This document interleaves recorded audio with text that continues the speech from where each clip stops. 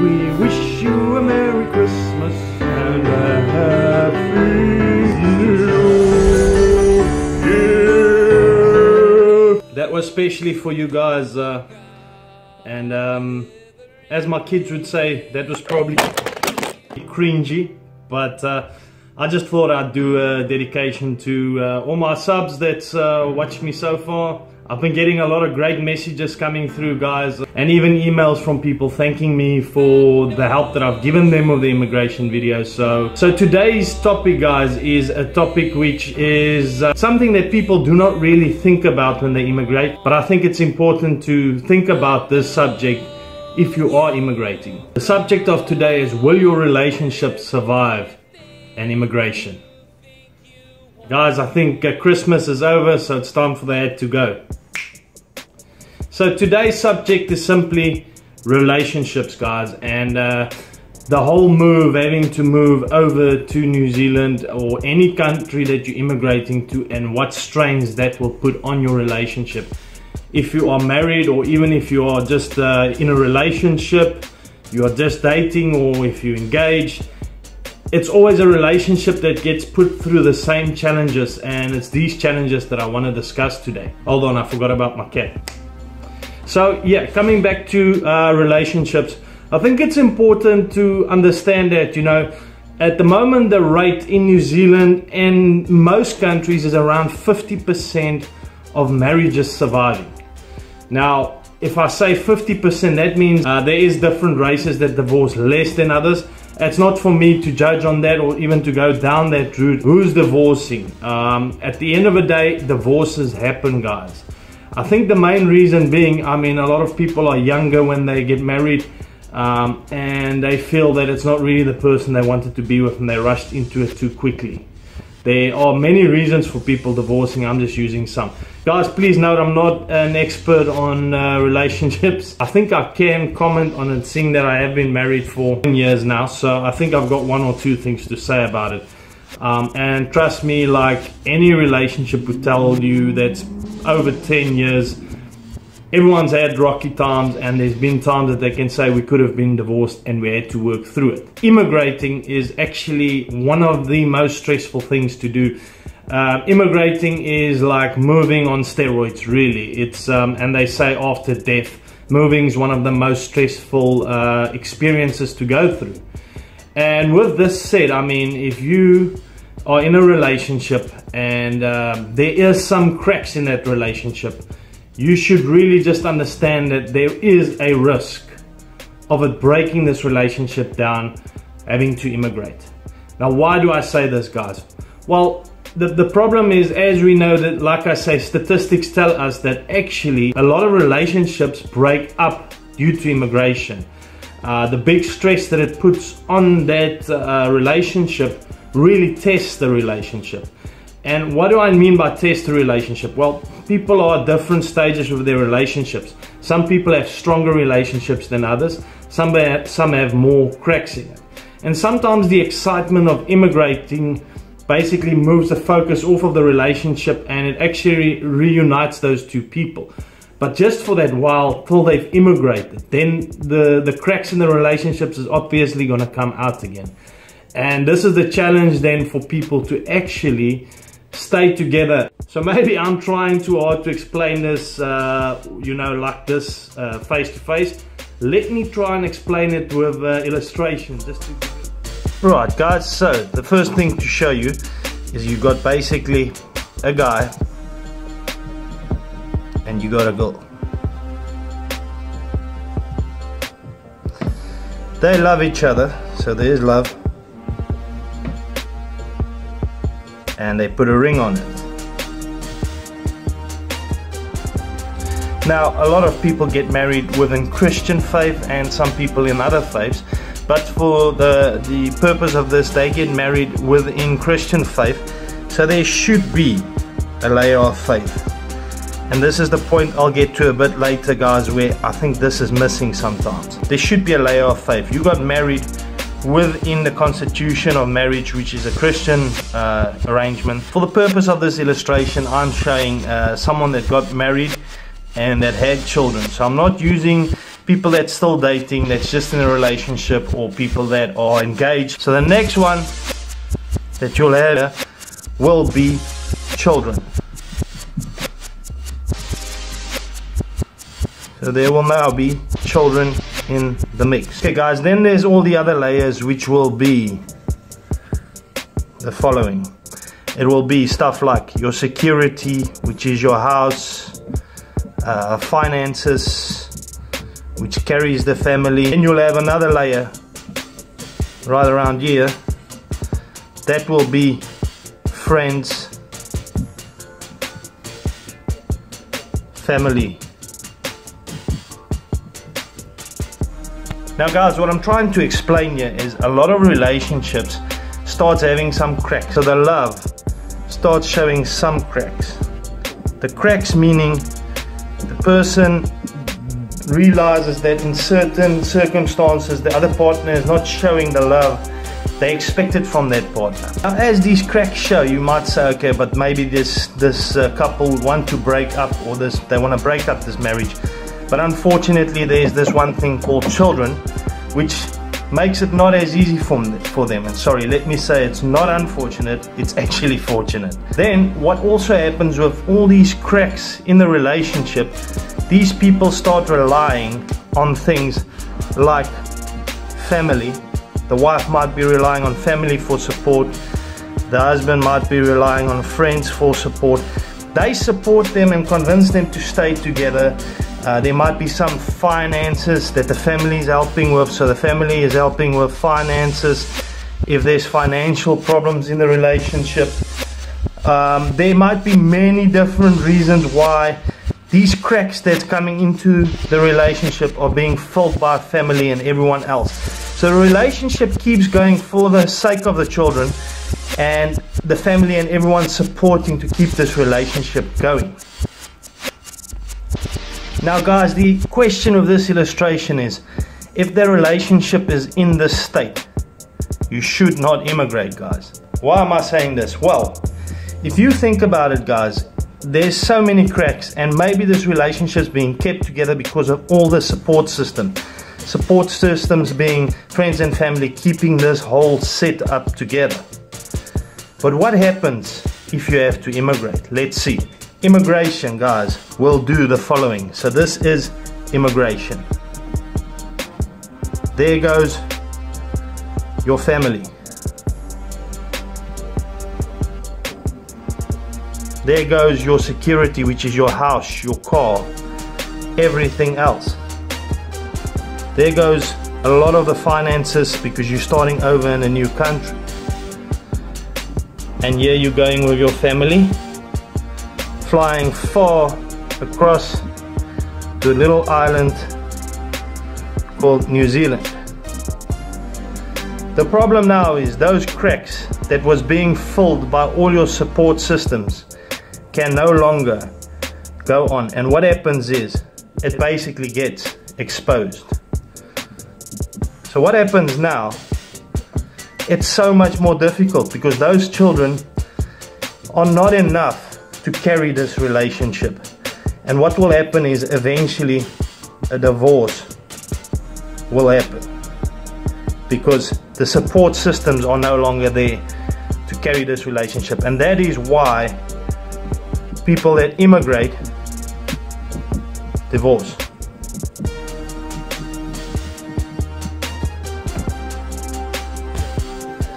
Well guys, you will ask, hold on, but why did you leave the layer of faith in there? Well, this is one of the biggest problems with young people getting married, and this is what uh, I experienced personally, and that's why I can say I am still married. Is that faith is the one thing that you need to strengthen because faith is really the institute of marriage with God or whichever relationship you want to marry in. So, guys, uh, if you think what I've just illustrated is a bunch of garbage, that's fine. Um, if you feel that maybe uh, you've had a totally different experience, that's also fine because that is all true, guys. I'm just taking my situation and I had to get my foundations with my faith right for my relationship to flourish. And I can tell you today that the road that I've walked and where my relationship is, it's always being tested and you can never get comfortable and say, oh, my relationship's solid. Um, it's in my opinion all on the grace of God and, and you got to constantly work at your relationship and you always got to humble yourself and realize that a relationship is based on uh, sacrifice and giving.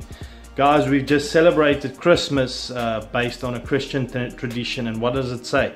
It always says giving and caring, and that is really being selfless, is what a relationship's all about. Peeling away all these layers will really only leave you with your your your core foundations of your relationship whatever that may be. And it's going to expose the cracks. And if there's children involved it's going to even be harder for children if you have to divorce in another country. You really got to take a deep dive look at your own relationship ask those questions. Will my relationship survive? Because i have seen a lot of cases children also you know, bears the brunt of it. Uh, the, people are strong, they'll survive, they'll grow out of it, but what you can avoid, you want to try and avoid. Guys, then going into friend relationships. As you see there, saw there with my illustration, I totally removed friends because that's basically, you're very lucky if, if you if you moved over with friends. You might find one or two friends here, but often it wasn't your closest friends. People are very lucky if they're here with their closest friends in New Zealand. So you start over. There's two ways to go about it when it comes to when it comes to friends. So the one way of going about is actively looking for friends and being quite aggressive. There are so many, many different places, guys, these days where you can find friends in New Zealand. You've got a whole lot of groups. I'll put a link below on one of my other videos um, where I'm showing the kind of videos you should watch when you want to immigrate and the kind of groups you have to join on Facebook. So you can have a look at that video, but it's simple. It's really going to all the South Africans immigrating to New Zealand groups. Being on these groups, there's always get-togethers. There's always people looking for friends. If you're really willing to put yourself out there, um, you can definitely find a lot of friends uh, moving to New Zealand. I can honestly tell you, me staying on the North Shore, there's certain areas all over Auckland, Howick, uh, Epsom Downs, those areas down that, that way. There's a lot of South Africans in Bucklands Beach. All these areas got a lot of South Africans. So if you're really looking for South Africans to connect with, you can. And I mean, North Shore's crazy. It's all over. We've got South Africans. But it also doesn't mean, and this is one thing that I always say, is it doesn't mean if we come from the same country and we've got the same nationality, we're going to be friends. Because it's not even to say we would have been friends back home.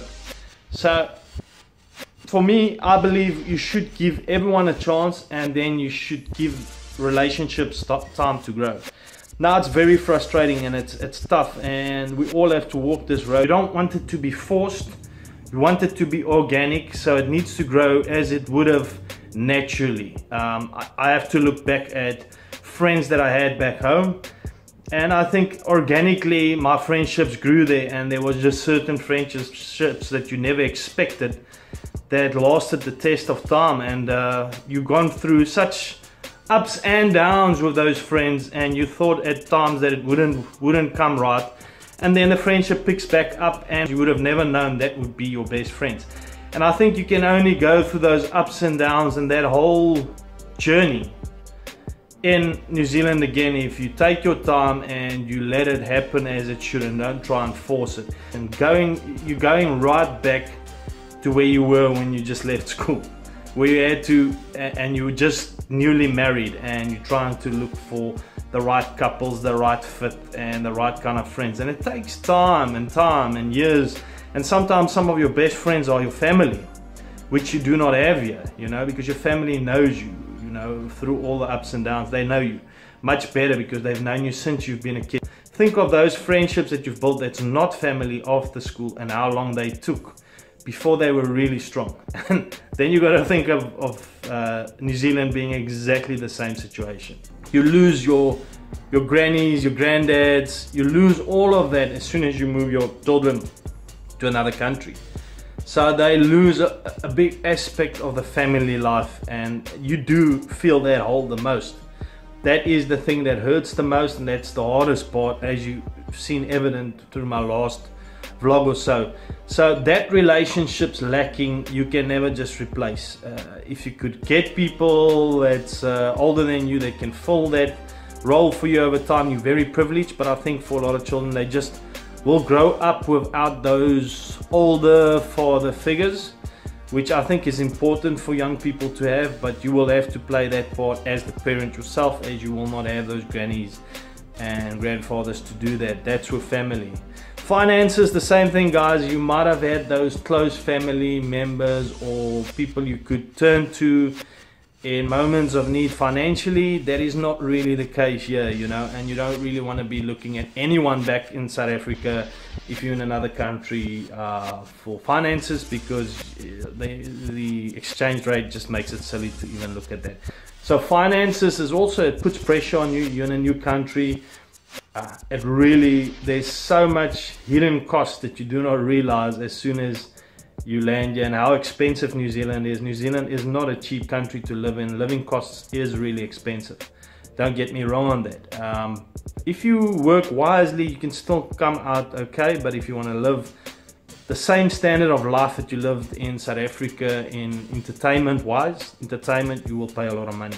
So guys, I think in closing, um, I really, I want to put this in the right words.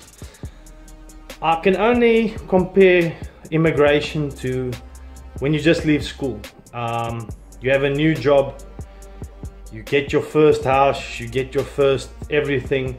You're trying to integrate with people, you're trying to make friends, um, you're trying to integrate into society. And you know, if you look back your first couple of years out of school, it's hard. You've got constant ups and downs, and it really emotionally does test you, you know and I can I can proclaim for myself that I've been emotionally very much up and down and I've not been the person that I would say I've been in South Africa a friend I've maybe not been the friend that I would have been in South Africa because emotionally you just go through so much uh, trying to find work trying to to build up relationships understanding a different country's culture understanding a different country's systems and it's been hard, you know. And um, I think it's important to understand that that takes time, and that I would say give each other a break. So if you're in your relationship and you've just immigrated, give each other a break in the sense of go easy on each other, take it easy,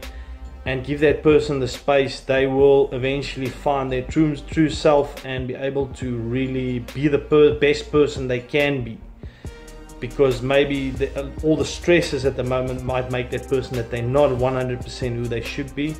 And i think the same for friendships you know. Think of your friendships and and give each other the space. In that first i would say year guys it's it's really tough on anyone immigrating and um, yeah i think that's the only advice that i can give you um, and uh, yep just keep that in mind if you're immigrating emotionally, you'll be going through a lot of uh, roller coasters and it might affect your relationships.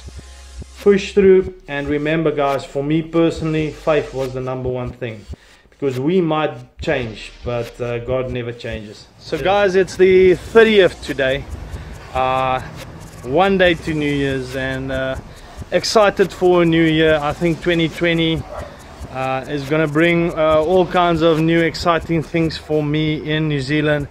Uh, hopefully find a job, which is my first mission this year. And then uh, also obviously this channel that I've really was surprised at what it's done.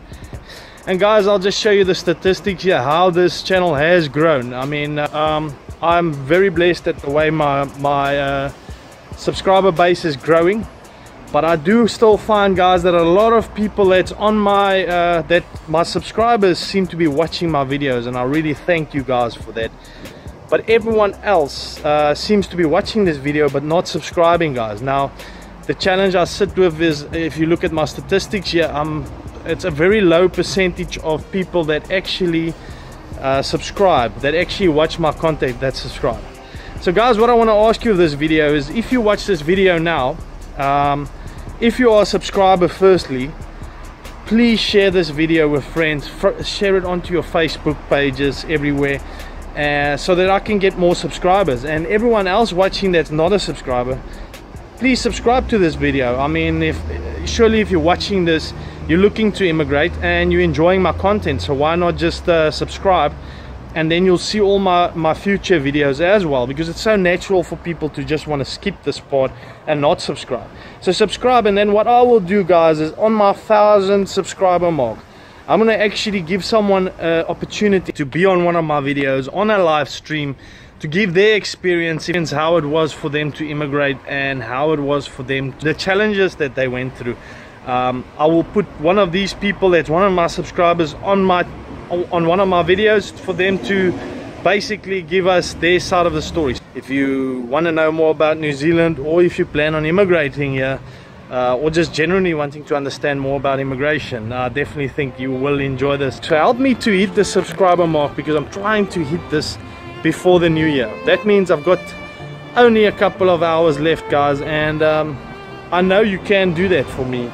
Uh, if everyone that watches this video now if I get 400 views and I can get 400 subscribers which will never happen but if I had to get that that would be awesome and that would get me over the line of the thousand subscribers mark over the new year which would be amazing